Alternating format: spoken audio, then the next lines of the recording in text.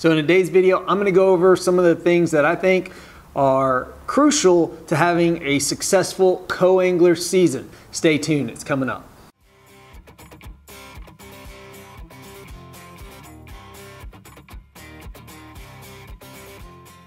Alrighty y'all, Lou here from Beyond the Bounds. This is a channel geared towards bass fishing gear reviews, tournament footage.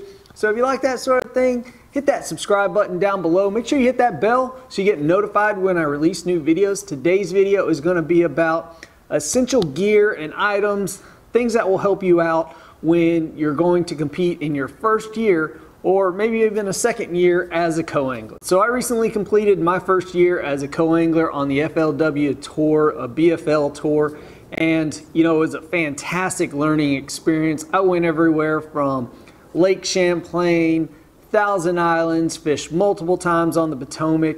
It was just really a great experience and I learned a lot because what I'm trying to do with myself and in my fishing career is just become the best angler that I possibly can. No one starts off just being incredibly awesome, all the time, knows everything about this. This is a constant learning process and you have to be on the water. And it helps for me to be in that situation, especially on the back of the boat, to where I can learn from the person on the front of the boat. So here are some of the things that I learned right away that were crucial to making my year as a co-angler pretty productive and fun overall. I learned a ton, so let's get into those. Uh, number one is make sure you have the right tackle bag. Having a good tackle bag really, really matters. Um, I started off the year with this guy right here just because I went to my first event, hadn't bought a bag yet, and I was like, you know what, I need, I need something, something that's gonna do me good.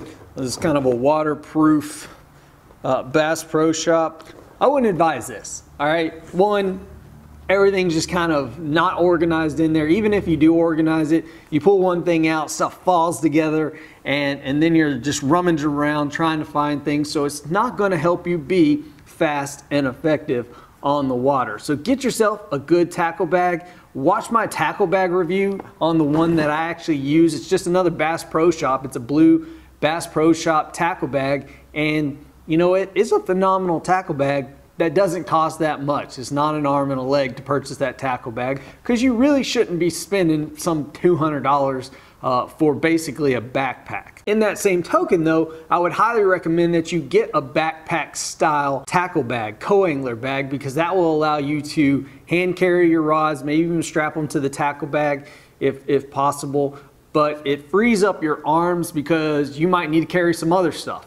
Maybe you're carrying a bag of ice, maybe you're carrying a small cooler or something like that. So having your arms free to be able to to carry other things, maybe you've got some really bulky rain gear or something like that, really helps to have a tackle bag that is a backpack in that situation. All right, so the next thing is proper rain gear. Guys, I can't hype on this one enough. It is very important, highly crucial to have proper rain gear. Now, I joined uh, the Gill Pro Staff uh, this year uh, because one, I'm a YouTuber and I knew I could uh, bring more notoriety to their products. Uh, they got a lot large pro staff, but generally it's just a small logo down there, and you don't necessarily see them using uh, the rain gear all the time. Now, I've done plenty of videos this year to where my rain gear, my Gill rain suit, my insulated suit was paramount to my success just on those days, just having a good day, one, but to stay dry. And, and that's where this is going to come in very important, guys. You want to stay dry because you're going to be fishing in all kinds of conditions rain, cold, sleet, snow. You never know what it's going to be on that day, and you really need high quality rain gear. And I can absolutely attest. Uh, whether whether I was pro staff or not, I, I don't intend to re up with them this next year um, because I've already got my great products. But you know what? It's one of those things to where I can attest that it's phenomenal rain gear. It really is. And, and I would put my money behind that and purchase it, you know, at full price myself any day of the week because it's really high quality stuff. You know, I recommend that you try to get at least two sets of rain gear, one kind of for your summertime and one for your winter and, and colder time of fishing because I utilize both of them. Throughout the year, just on my boat and through my co-angling events. And you really need a good bib system to go along with this rain gear as well as water boots. I use NRS. Uh, they were my kayak boots that I had for you know a couple years already, and I really like using them because I can still step in the water, get those wet pretty much all the way up to my mid calf there, and that allows me to do things when I'm launching the boat, and my feet are able to get wet all day long, and it never causes me any discomfort or or gets cold or anything like that. So, but having bibs is very important, especially when you're running down the water. You know, having something with a face shield, very important because a lot of the time you're going to be in the co-angler seat. You're not going to have that protection afforded to you like the driver will. Uh, matter of fact, when, when I was down in uh, Santee Cooper this year running my boat down there, uh, my buddies were just covered in bugs across their face. They had their their who rags up and everything and just covered uh, in, uh, in, in bugs where I'm like, hey, I'm, I'm perfectly fine. So you know you're going to get hit by a lot more stuff over here on this side. So having that good gear, guys, I, I can't say enough about having good gear, good rain gear, good quality rain gear. But look for those in your rain gear. Good face shield, good hood, insulation for the winter. Those are important things. All right, so let's talk PFDs. Now, when you are going on someone else's boat, you need to bring your PF, your own PFD. Don't don't think that they're always going to have everything that you're going to need, like cull tags and scissors and stuff like that. Get your own PFD. Um, know that you know not all PFDs are created equal. Okay, your inflatables and stuff they're very comfortable. They're very lightweight. They don't take up a lot of room, but they're also not as safe. You might want to get a Type 1 PFD because this is a PFD that will rotate you over if you've been ejected from the boat. And don't think that just because you're riding along with some pro angler who's on the FLW tour that you won't get, I think it's called a Bill Sermon, that you won't pull a Bill Sermon. Uh, so if you haven't, if you don't know or aren't familiar with that, that's basically being ejected from the boat after hitting a wave going in excess of 50 miles an hour. You could be in a, a, serious situation there, especially if both people get ejected from the boat. And it's possible that it could happen. Unfortunately, you know, this last year we started off on a very sour note where uh, a co-angler by the name of Nick Haler actually lost his life. Now, I don't want that to uh, dissuade you from participating in these events. I mean, these are kind of the one-offs that actually happen, and they're very sad. And you know, it's sad that that had to happen. But you can't live your life like that and, and be like, oh, well, I'm just scared something's going to happen. You're never going to get anywhere if you just allow that fear and other fear to control your life. So go out there you know, hop in somebody's boat, be a co-angler. Just know that a PFD, the right type of PFD, could very well save your life. All PFDs are designed to save your life. All right, line snips. Um, I don't have them with me here, but I carry a very specific line snip with me. It's great because it just goes in your pocket. You're not always having to get down, get to the uh, the boaters, scissors or anything. Please don't leave scissors on seats. You don't want to sit on one, rip somebody's seat or anything because by golly, these seats are expensive to replace. I mean, they don't call it break out another thousand for another reason. It's because things are expensive to replace and repair. But you know, bring your own snips that allows you to be fast and effective on the water, to just be in the back, taking care of your stuff, reach in your pocket, snip something, reach back in your pocket, and put it back where it belongs. In that same token, you know, you actually, you know, it it's beneficial if you wear pants with pockets on there, not just, you know, two pockets in the front and the back, but wear maybe wear some type of cargo pants or, or something like that because that's going to give you ex, extra storage in there for holding on to baits and stuff like that and, and things in your pockets to make you just able to pull it out like i said snip something put it right back in and maybe even change out a few lure presentations. Now i'm not advocating that you stick a bunch of treble hooks or anything in your pocket like that. Please don't do that especially down near little jimmy down there. So you know that that's gonna you're gonna want to shy away from any sharp objects in this in this area. You want to have different worm presentations and all that, maybe are rigged up like uh, a, a Senko, a Senko with a nail weight in it, so you can go from Neko to weightless in an instant, then that's something that you really could benefit from with having different pockets in there, different brands, worms in different sides, so that you know when you reach in there, bam, that's the weighted Senko, bam, that's the, the weightless Senko right there, or maybe different color presentations to allow you to rotate through things really fast and effectively. Again, it's always about being fast and efficient, unless you're being slow and efficient, which kind of works too. slow and methodical. That, that works. But you're always having to adjust to changing conditions based on that person who's driving the boat and who's controlling it in the front of the boat. Uh, you don't necessarily have to bring a balance beam, but if you want to, by all means, again, choose the right tackle bag to allow you to carry whatever you need. Something like this, again, is going to be very bulky and big and going to be hard, won't necessarily fit in a rear compartment. So try not to go this route. Also, some boaters are very particular about their co-angler's tackle. They shouldn't be, but they are. And those are the type of people that are going to create an interesting situation for you uh, to deal with if you're in their boat and you've got more tackle than they think you should have. So, just saying, it could happen. And if you condense that into a smaller package, that will help you mitigate those instances. Let's just say.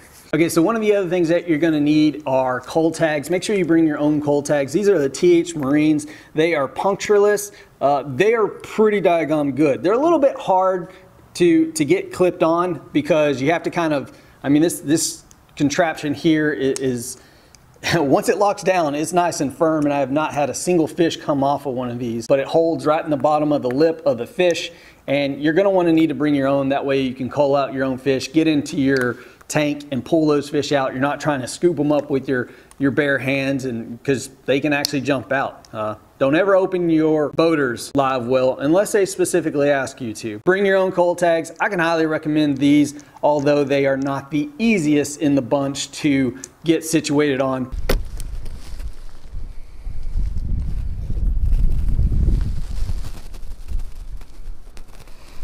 Welcome aboard.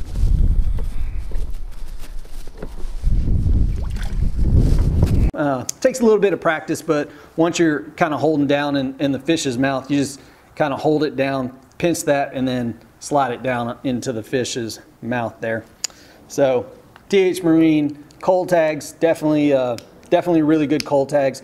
But like I said, may not be the easiest and fastest to clip on there. Uh, the cool thing about these that I will say that's probably better is that they're not large. They're not really big uh, so that you don't have something bulky inside of the fish's mouth, actually holding that fish's mouth open. Uh, that's actually not good for the fish, and you could actually kill your fish by having some that are too bulky. Uh, I never had a fish die on these cull tags at all this year. Can highly recommend these. But make sure you bring your own because you can't think that the boater is gonna have uh, another set of cull tags for you. All right, tackle, all that kind of gear, that's gonna be on you. You're gonna have to choose which rods and reels that you wanna bring with you, but bring stuff that's versatile. You know, don't just bring the, the super, you know, the, the super light action rod and think that you're gonna be able to do a lot of presentations with that. Unless that's your bag, unless that's your go-to things that you're the most confident in, bring something like a Lew's TP1 series multi-purpose rod that's gonna be able to throw spinner baits, crankbaits, worms, jigs, uh, any basically anything that you can think of. Um, and, and, put line on there so that it can throw those variety of uh, presentations. So plan to be as versatile and as fast and effective on the water as you possibly can. Other things you're going to need are sunglasses, uh, what a you know sun protection, something to cover your face with. Uh, when the this actually FLW hoodie that I picked up, check this thing out. It's pretty cool. That's pretty cool right there, guys. You know, you add some some sun protection here as well because you'll always be getting reflection coming up off the water, and that's gonna you know produce more sun uh, damage to your skin. Uh, but something like this, this is pretty cool. I actually like this. Just picked this up uh, prior to Christmas when I was signing up for the next FLW season, and highly highly like this. It was only like 20 something bucks too. Feels really good. Makes me look buff. Next on the list is this company actually sent these to me last year. This is the potty pack and the uh, crap kit. Let's go with crap kit so I don't get demonetized.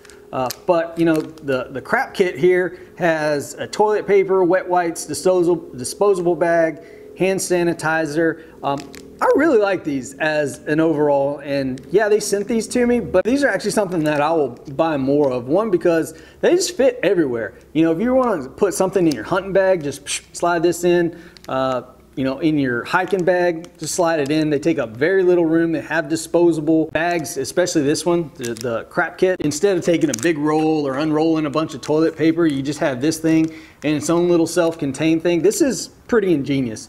Uh, and you know, I don't carry a big wad of toilet paper on my boat. I just carry uh, several of these, and that that handles that handles things. And it's not like I said, some bulky uh, TP type of solution fluttering up the back of my boat here, or my co-angler bag. So these things, like I said, fit really well into there. Just be prepared. Hey, when it happens, it happens. When you got to go, you got to go. Potty packs. Okay. Yeah, so uh, you know, just just to give this company a shout out because I really appreciated that they sent these to me. This is not a sponsorship. This is not anything. They sent them to me and said, hey, if you could use these in a couple videos, we'd appreciate it. And I was like, okay, that, that's actually something that sounds like I could use. So pottypacks.com, look them up, order you some, order you a big pack, Keep them in your truck, keep them in your boat, keep them in your camper, keep them in your car, hike bag, camp bag, all that stuff, tackle bag. All right, so next thing on the list that you're gonna need is when you're transporting your rods, it actually really helps to have some rod socks on there. Now these are actually the original rod socks. These are the ones that I recommend not a sponsored product, just a product that I like and believe in for several reasons because I like